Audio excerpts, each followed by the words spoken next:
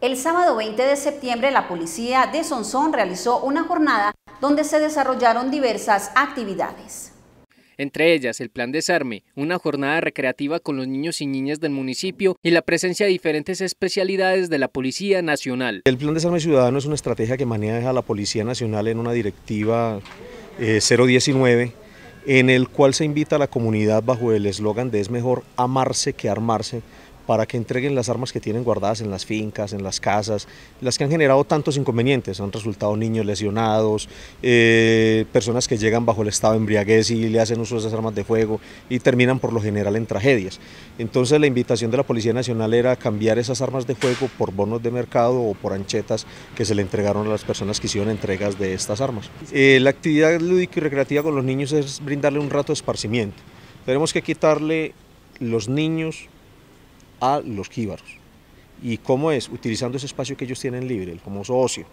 Traerlos a la institución, hacer actividades con ellos y al mismo tiempo darles enseñanza. Las actividades que se hizo con la cívica de mayores en este caso, se hicieron actividades de pintura, juegos, con el Escuadrón Móvil Antidisturbios también se hizo las mismas actividades. Se hizo una actividad de pintura y unos juegos eh, tanto recreativos como educativos. El objetivo de realizar estas jornadas comunitarias por parte de la policía de Sonsón es acercar a los ciudadanos a sus instituciones y al policial como amigo. Hace aproximadamente unos 20 años, cuando se inició con la conocida policía comunitaria, eh, se empezaron a implementar esta estrategia para acercar al policía a la comunidad, que no se tuviera solamente como una entidad que fuera eh, para realizar la captura, para coger al que está robando, que fuera solamente represivo y el brazo del Estado para control ciudadano y control policivo sino que también que la gente supiera de que nosotros desarrollamos otras actividades, que muchas veces la gente desconoce esas actividades que desarrolla la Policía Nacional y ante todo acercar la policía a la comunidad, que nosotros también somos seres humanos,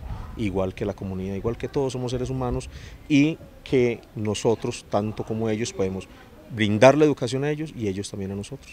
Finalmente, las autoridades hacen la invitación a todos los sonsoneños a que le abran estos espacios en sus comunidades a la policía del municipio de Sonsón. Que nos brinden estos espacios, que permitan que sus hijos vayan también a las actividades que nosotros desarrollamos como Policía Nacional, que participen de las actividades que nosotros realizamos, las reuniones, las actividades en los barrios con los niños, que se acercan a su Policía Nacional. Nosotros buscamos, dentro de las estrategias que tiene en este momento el señor director general de la Policía Nacional, habla de un policía más cercano a la comunidad, un policía para la comunidad.